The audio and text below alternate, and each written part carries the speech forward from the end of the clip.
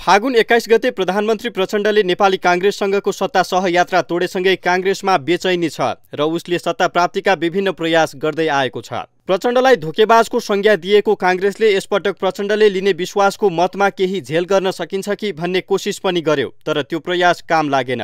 बुधबार प्रचण्डले यस कार्यकालमै तेस्रो पटक विश्वासको मत लिए। दुई हप्ता अघिसम्म सत्ता राजनीतिमा सफलता नै सफलताको बाटोमा रहेको नेपाली काङ्ग्रेसलाई पछिल्ला दुई दिनमा दुई ठूला असफलता बेहोर्नु पर्यो। मङ्गलबार राष्ट्रिय सभा अध्यक्षको पदमा काङ्ग्रेसले गठबन्धनका उम्मेद्वारसँग हार बेहोर्यो। यति मात्र होइन अहिले त वर्तमान वाम गठबन्धनको माहौलमा लोकतान्त्रिक शक्तिहरूको समानान्तर गठबन्धन निर्माण गर्ने काङ्ग्रेसको चाहनामा पनि धक्का लागेको छ। काङ्ग्रेस सभापति शेरबहादुर देउवाले लोकतान्त्रिक शक्तिहरू एक ठाउँ हुने भन्दै लोसपा जनमत सँग छलफल गरेका थिए।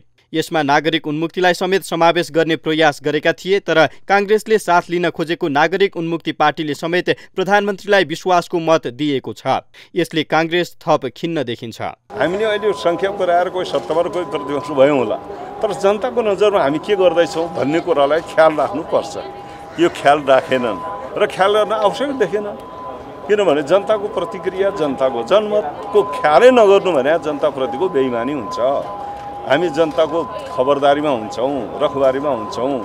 हामी जनताका निम्ति काम गरेका छौँ भनेर बुझेर जानु पायो भने ठिक हुन्थ्यो। हामी त्यो भन्छौँ भनेनौँ। त्यो भनिरहन्छौँ हाल सत्ता प्राप्तिमा फेल भए पनि काङ्ग्रेसलाई भने यसले एक ढिक्का बनाएको देखिन्छ।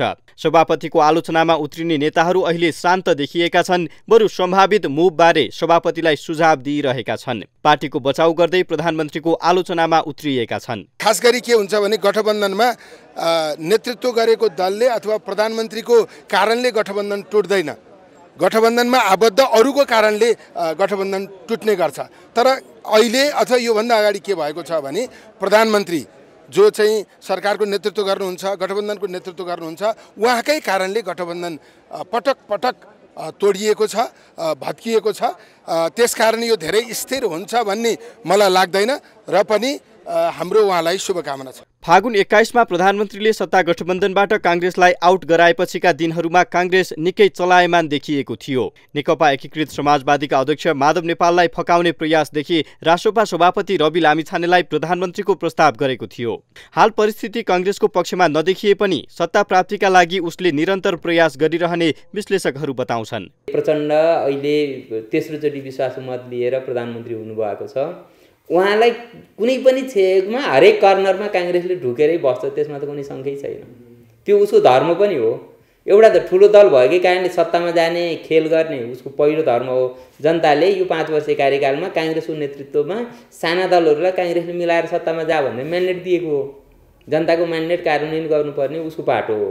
बुधबारको विश्वासको मतपछि अब काङ्ग्रेससँग प्रतिपक्षी बेन्चमा राप्रपा लोसपा जनमत राष्ट्रिय जनमोर्चा छन्। अब सत्तारोहणको प्रयासमा नेपाली काङ्ग्रेस अगाडि बढ्छ अथवा नेताहरूले दावी गरे जस्तो शान्त भएर प्रतिपक्षकै भूमिकामा रहन्छ त्यो भने हेर्न बाँकी छ। न्युज ट्वेन्टी फोर टेलिभिजनका लागि टिभी जर्नलिस्ट सुजन चालिसे काठमाडौँ।